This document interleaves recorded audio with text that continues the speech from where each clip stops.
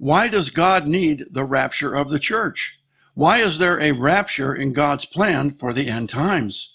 Why can't Christians simply stay on earth and wait for the second coming of Jesus Christ at the end of the seven year tribulation?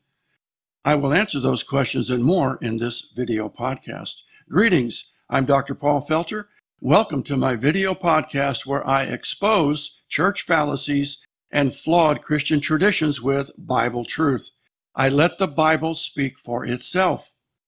If you appreciate the video podcasts, please consider subscribing to my YouTube channel or my podcast channel, both named Rightly Dividing the Word of Truth. Click the notification bell to know when I release a new video. In this video, I will give you five reasons why the rapture is necessary in God's prophetic plan for the ages. Number one, to end the dispensation of grace and return to the law of Moses. Number two, to preach the gospel of the kingdom again in all the world. Number three, to commence the seven year tribulation for Israel. Number four, to pour out the wrath of God and the wrath of the Lamb. And number five, for the marriage supper of the Lamb. Let's look at number one, to end the dispensation of grace and return to the law of Moses. Let's begin by looking at the 70 weeks prophecy in Daniel chapter 9 through the lens of the Mosaic law. 70 weeks are determined upon thy people and upon thy holy city to finish the transgression and to make an end of sins and to make reconciliation for iniquity, and to bring in everlasting righteousness, and to seal up the vision and prophecy, and to anoint the most holy. Daniel 9:24. I'm not doing a detailed study on the 70 weeks prophecy. That's for another video. But let's notice a few obvious facts. Number 1, the prophecy is for 70 weeks of years, not days. That's 490 years. Number two, the prophecy focuses on Daniel's people, the Jews. Number three, the focal city is Daniel's city, Jerusalem. So the prophecy is entirely Jewish, the Jews and Jerusalem. Number four, it's not a prophecy concerning the Gentiles or the body of Christ. Number five, the 70 weeks prophecy was given by Daniel under the law of Moses. Number six, the first 69 weeks or 483 years was completed under the law of Moses. That 483 year period started with the command to rebuild Jerusalem in Nehemiah chapter 2. It ended with Jesus' entry into Jerusalem riding on a donkey, fulfilling Zechariah's prophecy in Zechariah 9 9. Number seven, since the first 69 weeks were completed under the law of Moses, so must the 70th week, the seven year tribulation, be completed under the law of Moses. Number eight, even though there is a gap between the 69th and the 70th weeks, they all must be completed under the law of Moses. The gap between the 69th and 70th week is worthy of inquiry. And after threescore and two weeks shall Messiah be cut off, but not for himself. And the people of the prince that shall come shall destroy the city and the sanctuary, and the end thereof shall be with a flood. And unto the end of the war desolations are determined. Daniel 9:26. Jesus, the Messiah, was cut off upon being crucified on a Roman cross. The dispensation of grace began with the Apostle Paul, as we read Ephesians 3, verses 1 through 7. For this cause I, Paul, the prisoner of Jesus Christ for you Gentiles, if ye have heard of the dispensation of the grace of God, which is given me to youward, how that by revelation he made known unto me the mystery, as I wrote afore in few words, whereby when ye read, ye may understand my knowledge in the mystery of Christ, which in other ages was not made known unto the sons of men, as it is now revealed unto his holy apostles and prophets by the Spirit, that the Gentiles should be fellow heirs, and of the same body, and partakers of his promise in Christ by the gospel, whereof I was made a minister according to the gift of the grace of God given unto me by the effectual working of his power. Ephesians 3 1 through 7. Paul states clearly that the dispensation of grace began with a new revelation given him by God. This new revelation was not revealed to anyone prior to Paul. The purpose of this new paradigm of grace was that Gentiles should be fellow heirs of salvation through Jesus Christ and the gospel of grace, not the law of Moses. Paul continues, Ephesians 3, verses 8 and 9. Unto me, who am less than the least of all saints, is this grace given, that I should preach among the Gentiles the unsearchable riches of Christ, and to make all men see what is the fellowship of the mystery, which from the beginning of the world hath been hid in God, who created all things by Jesus Christ.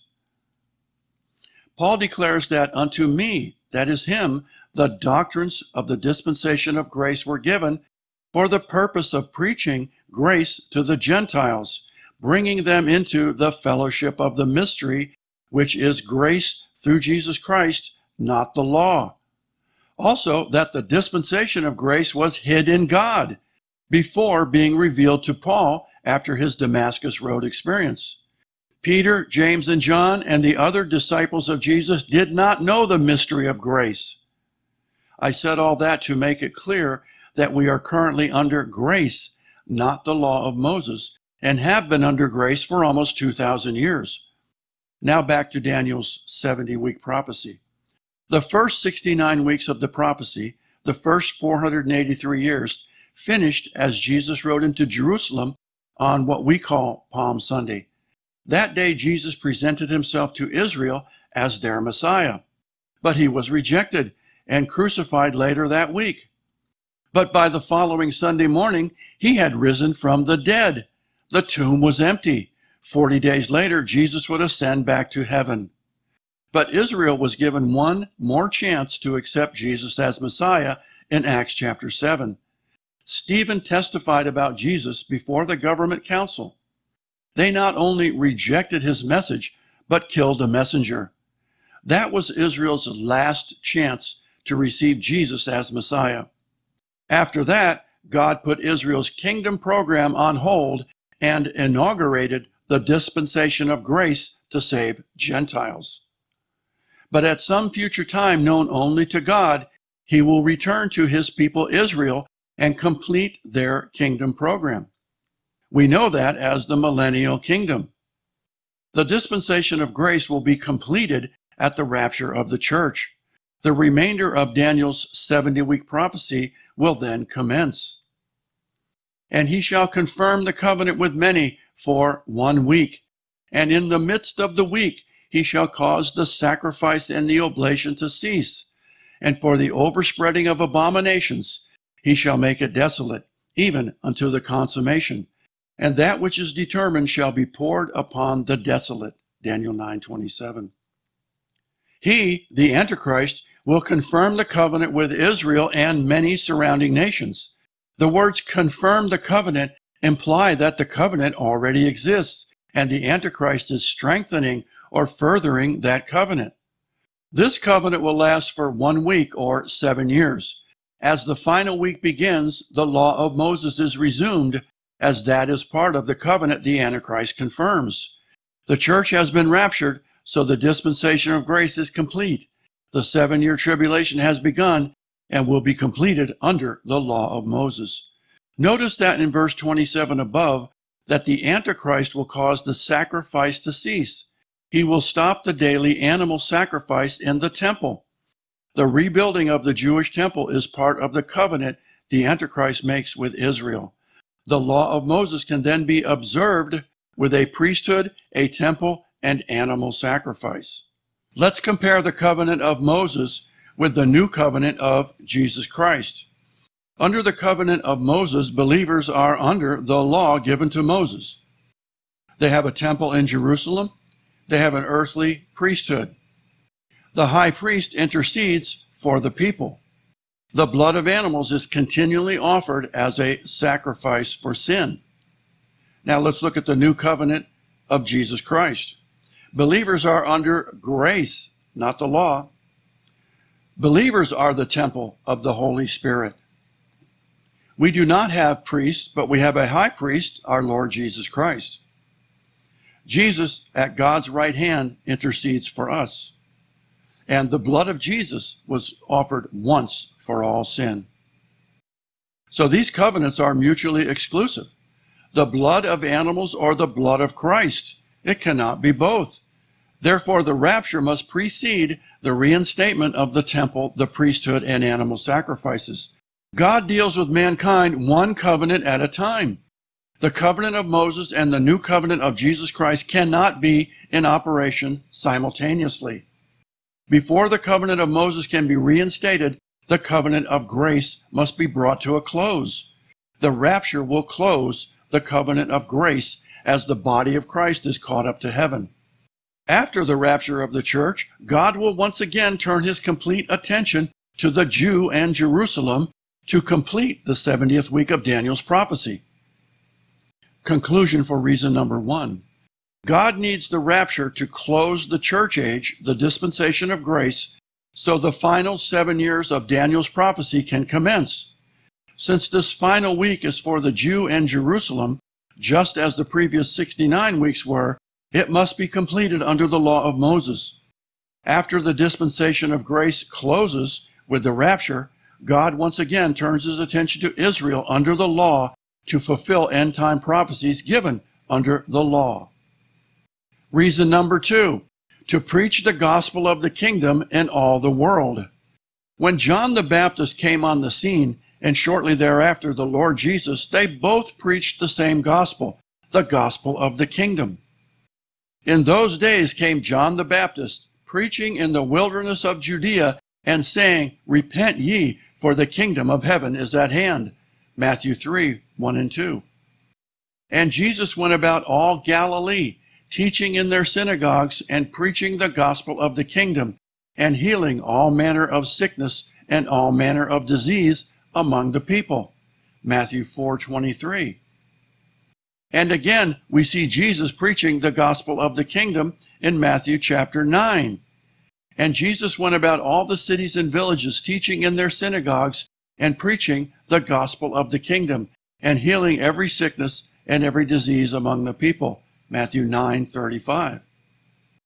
Jesus makes a future proclamation about the gospel of the kingdom, stating in Matthew chapter 24 that during the seven year tribulation it will be preached again. But he that shall endure unto the end, the same shall be saved. And this gospel of the kingdom shall be preached in all the world for a witness unto all nations, and then shall the end come. Matthew 24, 13 through 14. Jesus preached the gospel of the kingdom in his earthly ministry from Matthew 4 to Matthew chapter 12. But in Matthew chapter 12, Jesus is officially rejected by the rulers of Israel the miracle working power of the Lord was attributed to Satan. That was a huge milestone in the Jews' unbelief and rejection of Jesus as Messiah. And all the people were amazed and said, Is not this man the son of David? But when the Pharisees heard it, they said, This fellow doth not cast out devils, but by Beelzebub, the prince of devils. Matthew 12, 23 and 24. Immediately in Matthew chapter 13, Jesus begins teaching in parables. The disciples notice the change and ask Jesus why he now speaks in parables. Jesus gave a startling answer. And the disciples came and said unto him, Why speakest thou unto them in parables? He answered and said unto them, Because it is given unto you to know the mysteries of the kingdom of heaven, but to them it is not given. For whosoever hath, to him shall be given, and he shall have more abundance. But whosoever hath not, from him shall be taken even what that he hath. Therefore speak I to them in parables, because they seeing see not, and hearing they hear not, neither do they understand. Matthew 13, 10 through 13. Because of their rejection of Jesus, they will no longer be able to understand spiritual truth as it is hidden in parables or riddles. Only those with the Spirit will understand. No more preaching the gospel of the kingdom. The gospel of the kingdom is not mentioned again until Matthew 24, the Olivet Discourse. The time frame in Matthew 24 is the seven year tribulation.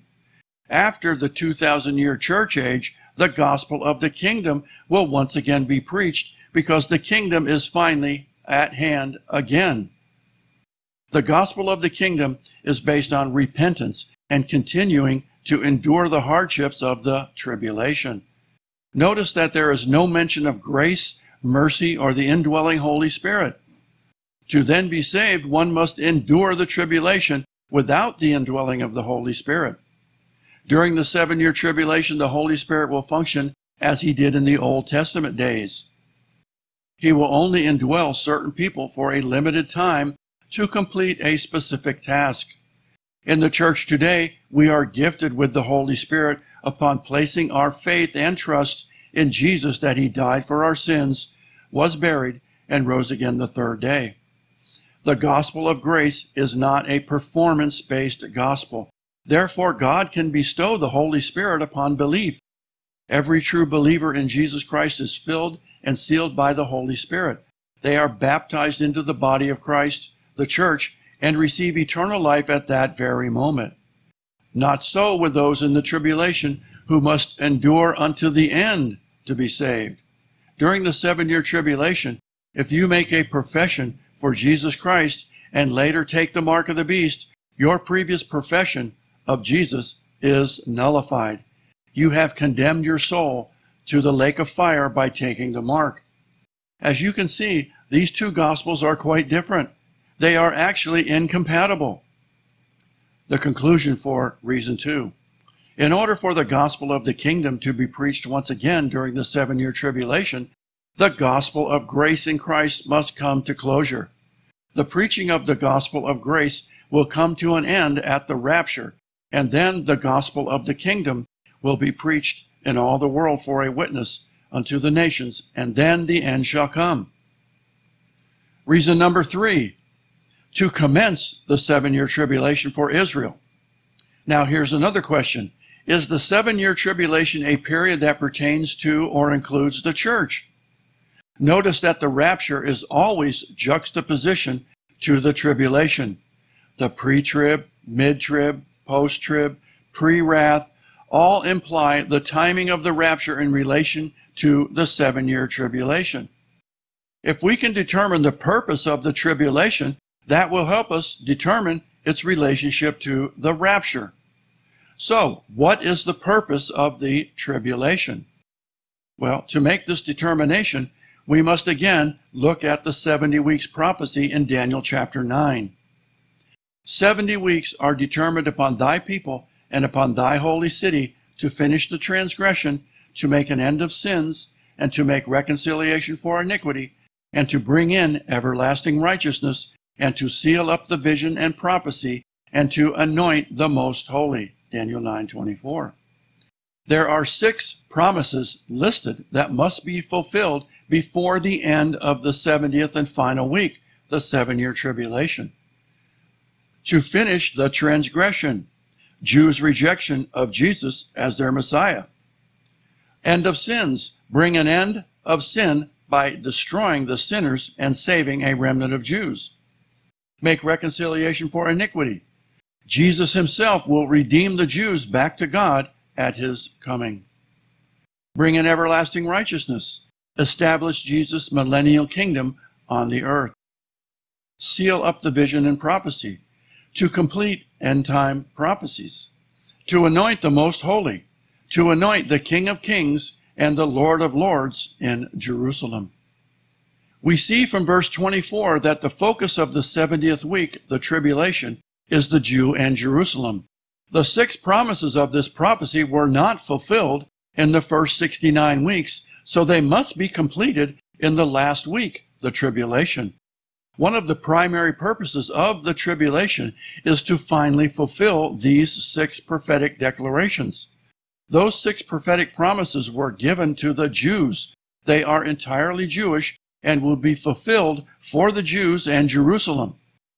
Now, how will the Lord fulfill these promises? He brings the day of the Lord. Howl ye, for the day of the Lord is at hand. It shall come as a destruction from the Almighty. Isaiah 13:6. Alas for the day, for the day of the Lord is at hand, and as a destruction from the Almighty it shall come. Joel 1:15. The God of the Old Testament is frequently viewed as a God of wrath because he had to resort to wrath and judgment to bring the Jews to a place of repentance. In the tribulation, he will need to do that once again to bring Israel to their knees so that they will call upon the Lord for help. Jesus said as much at the end of Matthew chapter 23, just before giving the Olivet Discourse. For I say unto you, ye shall not see me henceforth, till ye shall say, Blessed is he that cometh in the name of the Lord. Matthew 23, 39. God spoke a similar verse through Moses in Deuteronomy chapter 4, the first mention of the tribulation. When thou art in tribulation, and all these things are come upon thee, even in the latter days, if thou turn to the Lord thy God, and shall be obedient unto his voice, for the Lord thy God is a merciful God, he will not forsake thee, neither destroy thee, nor forget the covenant of thy fathers, which he sware unto them. Deuteronomy 4 30 and 31. As we clearly see, the tribulation period is when God deals with the Jew and Jerusalem once again. During that time, God does not deal specifically with the Gentiles. God has been dealing with the Gentiles for the past 2,000 years through the church, the body of Christ. God must once again use wrath as he did in the past to bring Israel to their knees so they will turn again to him and cry out for help. The tribulation is a time of Jacob's trouble. Jacob's name was changed by God to Israel. That period is a time of Israel's trouble, not the church. That must be a reference to the tribulation, as Jeremiah states that that day is great, so that none is like it. Alas, for that day is great, and that none is like it. It is even the time of Jacob's trouble, but he shall be saved out of it. Jeremiah 30, verse 7. Conclusion for reason three. The tribulation is a seven year period dealing specifically with the Jew and Jerusalem to be completed under the law of Moses. God will use great calamity and the destruction of the day of the Lord to force Israel to repentance, just as he did in Old Testament times. It is a time of Israel's trouble. The true church is not invited. To fulfill Daniel 9:24, Israel will finally believe in Jesus and accept him as Messiah and King. We in the true church of Jesus Christ already believe that Jesus is Savior and Lord. The tribulation is about redeeming Israel and judging sinners, those that reject Jesus Christ. The true church is in neither category as we have already been redeemed. Reason number four, to pour out the wrath of God and the Lamb. Let's look at some passages pertaining to God's wrath. Behold, the day of the Lord cometh, cruel both with wrath and fierce anger, to lay the land desolate, and he shall destroy the sinners thereof out of it. Therefore I will shake the heavens, and the earth shall remove out of her place in the wrath of the Lord of hosts, and in the day of his fierce anger. Isaiah 13, 9 and 13. That day is a day of wrath, a day of trouble and distress, a day of wastedness and desolation, a day of darkness and gloominess, a day of clouds and thick darkness. Zephaniah 1:15. He that believeth on the Son hath everlasting life, and he that believeth not the Son shall not see life, but the wrath of God abides on him. John 3:36. For the wrath of God is revealed from heaven against all ungodliness and unrighteousness of men who hold the truth in unrighteousness. Romans 1:18. But there is no wrath coming upon the church, the body of Christ, as the following verses promise. Much more than being now justified by his blood, we shall be saved from wrath through him. Romans 5 9. And to wait for his Son from heaven, whom he raised from the dead, even Jesus, which delivered us from the wrath to come. 1 Thessalonians 1:10. For God hath not appointed us to wrath, but to obtain salvation by our Lord Jesus Christ. 1 Thessalonians 5 9. The wrath in the previous verses is when God pours out his wrath upon this earth during the seven year tribulation. God's wrath does not nor ever will come upon the true believers in Jesus Christ that walk according to his will and in the power of the Holy Spirit. We are the body of Christ. Would the Father ever take vengeance upon the redeemed body of Christ? No, of course not.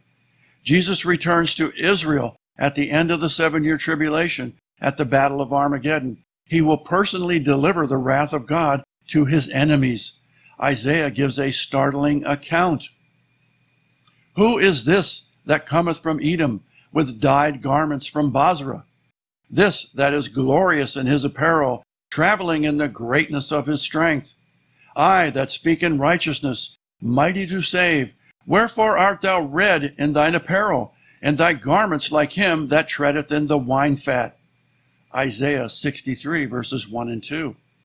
Isaiah asks the Lord why his robe is stained red. The next verse gives the answer. I have trodden the winepress alone, and of the people there were none with me. For I will tread them in mine anger, and trample them in my fury, and their blood shall be sprinkled upon my garments. And I will stain all my garments, for the day of vengeance is in my heart, and the year of my redeemed is come. Isaiah 63, 3 and 4. Jesus will personally execute judgment and wrath upon his enemies at his second coming. When during the tribulation does the wrath of God begin? Some claim that the wrath of God begins about five years into the seven year tribulation with the seven bowls of wrath in Revelation chapter 16. But what does the Bible say? Let's look at Revelation chapter 6, the seven seal judgments.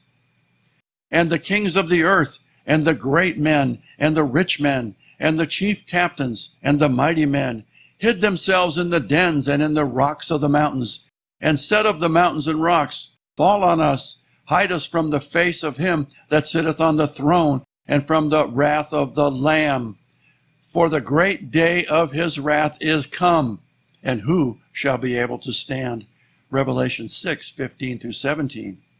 As you can read, the wrath of God begins with the seven seal judgments in Revelation chapter 6, not later in the tribulation with the bowls of wrath.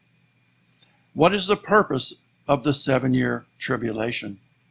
Number one, God will deal specifically with the Jew and Jerusalem to complete the seven year tribulation under the law of Moses, reconciling the Jews back to God.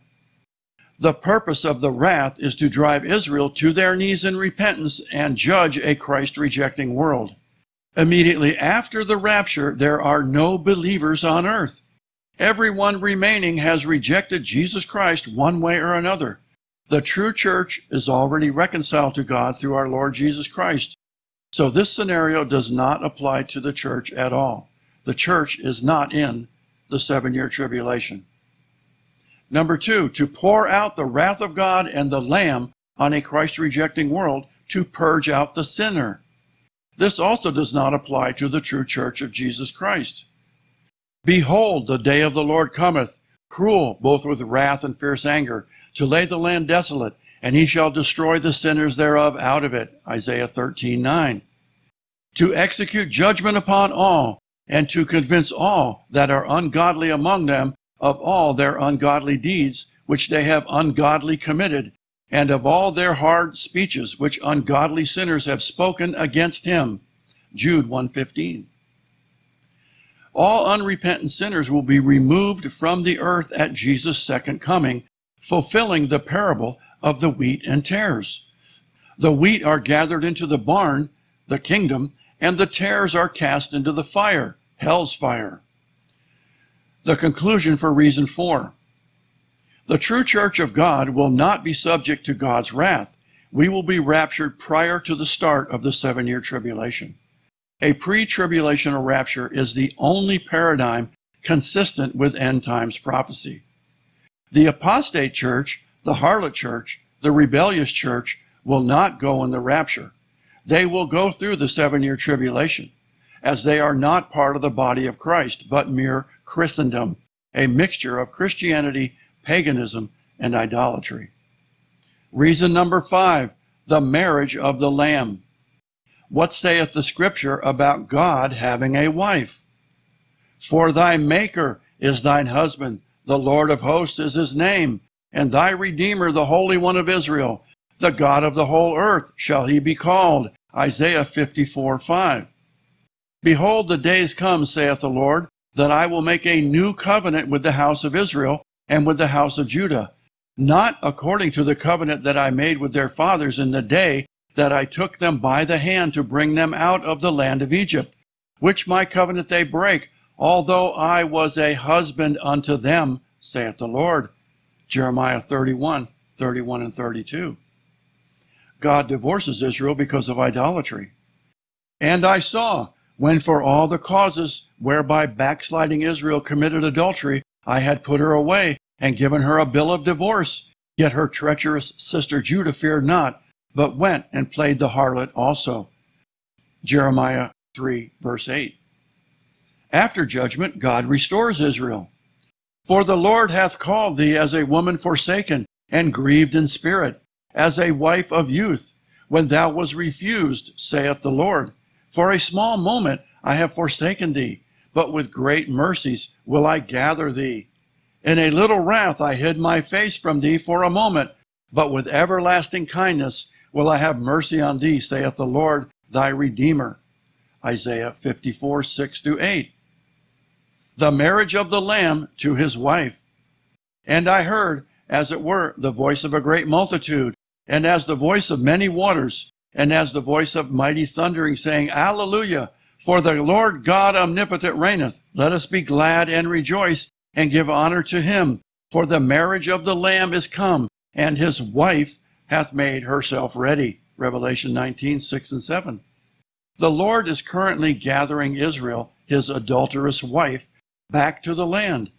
Once the gathering of Israel is complete, she will go through the seven year tribulation, enduring the wrath of God against her and a Christ rejecting world. The rapture of the church will mark the time when God once again returns his attention back to his people, his divorced wife Israel. During the tribulation, Israel will be brought to her knees once again, crying out in repentance for God to save her, just as she did many times in the Old Testament. The marriage takes place here on earth just after the second coming of Jesus Christ, Israel's Messiah. I have heard some so called Bible teachers state that Israel is the wife of Jehovah and the church is the bride of Christ. That is preposterous, as there is only one God and he can't have two wives, thus breaking his own law. But we have been taught that the church is the bride of Christ. However, the term bride of Christ is nowhere found in Scripture. Our Apostle Paul never uses that phrase. Also, the two verses quoted as proofs that we are the bride were written as metaphors or similes, not as declarative statements. John the Baptist tells us the identity of the bride in the following verse He that hath the bride is the bridegroom. But the friend of the bridegroom, which standeth and heareth him, rejoiceth greatly because of the bridegroom's voice. This my joy, therefore, is fulfilled. John chapter 3, verse 29. The bride spoken of by John is Israel. Jesus is the bridegroom, and John is the friend of the bridegroom who rejoices at hearing Jesus' voice. When John spoke these words, we, the church, the body of Christ, did not yet exist. The only explanation for the bride is Israel. The book of Hosea pictures Israel being married, divorced, and remarried to God. The remarriage happens after Jesus Christ saves Israel at his second coming. We, the body of Christ, cannot also be the bride of Christ. The body also being the bride is absurd on face value. we need no further explanation. So, conclusion The true church must be removed before the adulterous divorced wife Israel can be restored back to God as his wife. Final thoughts. The seven year tribulation must be completed under the law of Moses. The gospel of the kingdom is again preached during the tribulation. The tribulation is a time of God's wrath poured upon Israel and the world. The tribulation is for the restoration of the Jew, as noted in Daniel 9:24. The church and Israel are distinct and separate entities, each with a different divine destiny. The focus of Israel's program is an earthly kingdom, the millennial kingdom. The destiny of the church is a heavenly program. The rapture will accomplish the following. The rapture will close the dispensation of grace so God can bring the day of the Lord commencing the seven year tribulation. The rapture will close the gospel of grace so the gospel of the kingdom can once again be preached. The rapture will remove the church from the earth so God's wrath can begin as defined in Revelation chapter 6. The rapture closes the dispensation of grace after which God returns to dealing with Israel under the law of Moses. The rapture removes the body of Christ from the earth so Jesus can save and remarry the one and only bride, Israel. Maranatha, come quickly, Lord Jesus. An integral part of understanding your Bible is to see God's timeline from Genesis to Revelation in chart format. I have two such works available in print and PDF. The first is a free, rightly dividing the Word of Truth chart in landscape format. This chart displays God's timeline from Genesis to Revelation it alone is a tremendous help in understanding your Bible and can easily be downloaded from my website. Second, a letter sized booklet named The Master Key to Understanding the Bible. This 64 page guide is full color and professionally printed. It has 13 large, full color charts displaying the right division concept in great detail. The guide is a must have companion for the serious Bible student. The Master Key is also available in audiobook format on Amazon Audible. Both are available on my website, breadoflife.media. If you have enjoyed the video podcast, then please like and subscribe to my YouTube channel and my podcast channel, Rightly Dividing the Word of Truth. Thanks for joining me today. See you next time. God bless.